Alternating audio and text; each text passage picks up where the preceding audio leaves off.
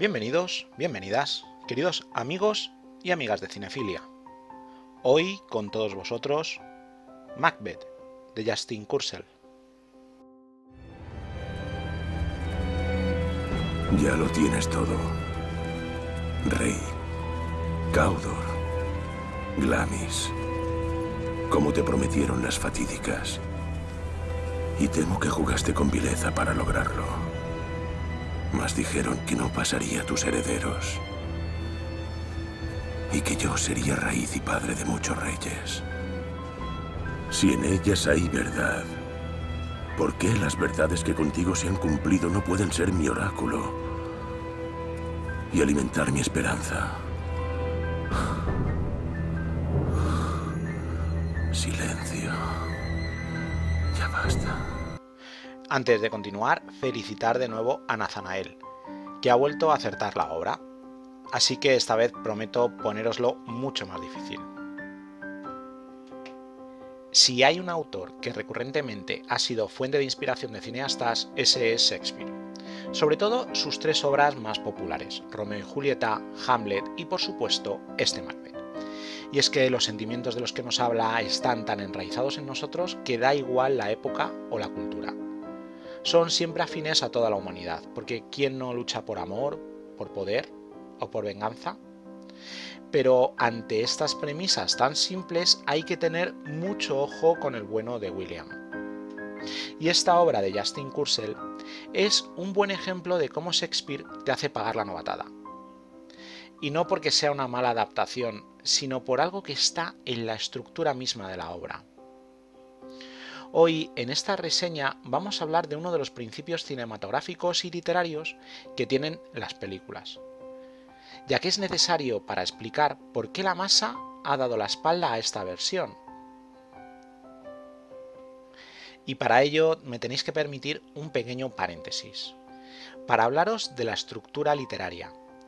Es solo una pincelada, no vamos a entrar en profundidad, pero si os interesa el tema y queréis que haga un vídeo explicándola completamente, darle a like y así puedo ver que tenéis interés. Si llegamos a más o menos 50, pues os hago un vídeo monográfico sobre estructuras literarias en los guiones de cine.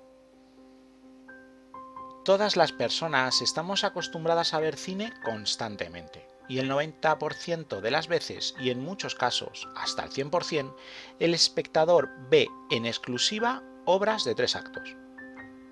Esto crea una inercia propia por parte del espectador de lo que espera ver, que son tramas directas donde el ritmo siempre va increciendo y que es muy fácil retener la atención. Es por eso que esta estructura sea la más usada. Pero no es la única, también hay estructuras de cuatro actos, que son más o menos el 9 restante. Que aunque no es muy habitual, estas historias bien rodadas no tienen por qué afectar a la atención del espectador, ya que siguen teniendo un gran dinamismo. Y el otro 1% restante que son pues, estructuras de 5 actos o también llamadas estructuras isabelinas. Y estas tienen una trampa feroz en el cuarto acto.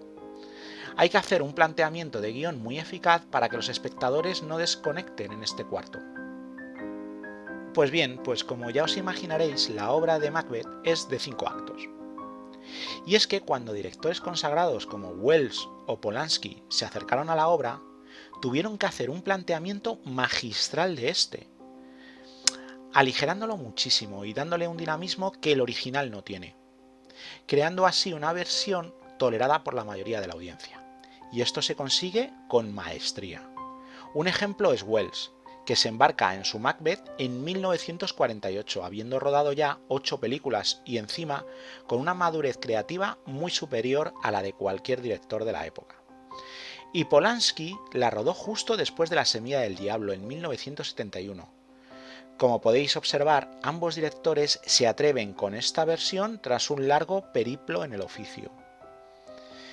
Pero es más, cuando Kurosawa hizo Trono de Sangre, que es una versión de Macbeth, la hizo aún más dinámica, ya que no tomó la obra original tal cual, sino que la adaptó al mundo de samuráis, con lo que pudo jugar como quiso con el original, para crear lo que para muchos es la mejor adaptación de Macbeth en el cine.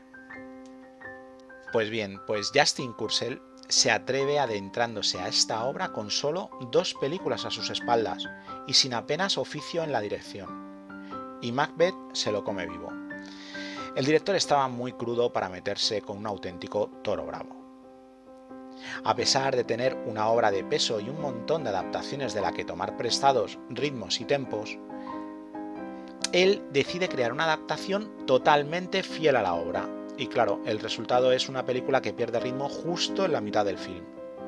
Y que solo remonta en los minutos finales, por lo que el público la trató como aburrida y lenta. Y es que realmente lo es. Pero yo defiendo esta obra. Y por eso hago esta reseña de esta versión. Y es que el cine es algo que es muy complejo, es un compendio de diferentes artes. Y aunque la dirección no va a destacar por su trabajo en el guion, sí lo hace al crear una de las más bellas películas de todos los tiempos. Y es que el planteamiento de los momentos de acción están a la altura del mejor sorrentino. Rompiendo el tiempo y el espacio para meternos en esos momentos más crueles de la historia. La primera batalla es como meterse en un cuadro, y la música y la coreografía, no solo de los actores, sino de la cámara con estos, da uno de los momentos que no se olvidan. Y por otro lado están las actuaciones, y no solo hablo de Fassbinder y Cotillar, sino de todos los integrantes del elenco. Están simplemente maravillosos. Y si a esto le juntamos una fotografía y unas localizaciones increíbles, hacen de esta obra un imprescindible. Qué pena que se atreviera tan pronto con esta obra de Shakespeare. Creo que Kursel, con mucho más oficio, habría hecho una obra maestra. Porque técnica, a pesar del fracaso, tiene. Pero no ha sabido elegir muy bien cómo plantear el guion. Tampoco hay que decir que ha sabido elegir muy bien su trayectoria profesional, haciendo películas después de dudosa calidad. Sobre la trama creo que es conocida por todos, pero puede haber espectadores jóvenes que aún no hayan tenido la ocasión ni de leer la novela o de ver alguna de sus múltiples adaptaciones. Así que contaros que estamos en Escocia y el rey Duncan tiene una guerra civil en la que están involucrados todos sus señores. Macbeth es el más leal de todos, y tras una batalla, tres brujas le vaticinan que será rey. Esta visión desencadena una serie de acontecimientos que llevarán la muerte y la destrucción al reino de Escocia. Y ahora tú me podrías preguntar, ¿pero entonces me aconsejas ver esta película? Bueno, pues por un lado sí y por el otro no. No creo que sea una película que enganche. Por lo que si te la aconsejara, tendrías en mi consejo más un castigo que un premio. Pero claro, por el otro lado, sí te lo aconsejo. Y es que, a pesar de no ser una buena versión, tiene momentos de absoluta brillantez, que puede ser que eclipsen sus puntos negativos. Y que al final te guste tanto como a mí. Así que la decisión más bien debe de ser tuya.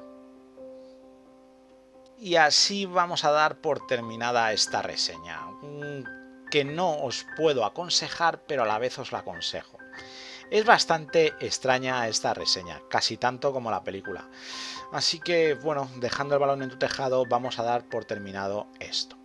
Pero vamos a continuar con esa especie de juego que se está convirtiendo en costumbre en el canal, y es hacer un adelanto en forma de acertijo de la siguiente película. Y esta vez os lo voy a poner francamente difícil.